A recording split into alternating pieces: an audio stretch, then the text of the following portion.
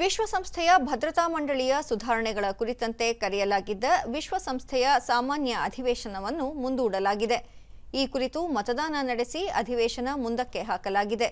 ಈ ಬೆಳವಣಿಗೆಯನ್ನು ಭಾರತದ ಉಪ ಶಾಶ್ವತ ಸದಸ್ಯರಾದ ಯೋಜನಾ ಪಟೇಲ್ ಟೀಕಿಸಿದ್ದಾರೆ. ಅಂತರ ಸರ್ಕಾರಿ ಮಾತುಕತೆ ಪ್ರಕ್ರಿಯೆಯು ಪ್ರಗತಿ ಇಲ್ಲದೆ ಮುಂದುವರೆದಿದೆ. ಅದು ನ್ಯಾಯಸಮ್ಮತೆಯನ್ನು ಕಳೆದುಕೊಳ್ಳುವ ಅಪಾಯವಿದೆ ಎಂದು ಎಚ್ಚರಿಕೆ ನೀಡಿದ್ದಾರೆ.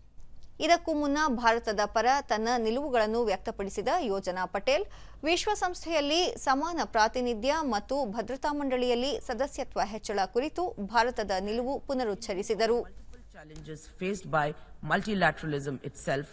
India would like to underscore the need for the credibility of the IGN process. It is important that we introspect within the IGN on why there is little progress on the outcomes achieved so far and what should be the roadmap ahead. We must not allow this to be an exercise in perpetuity only on paper. Time is running out.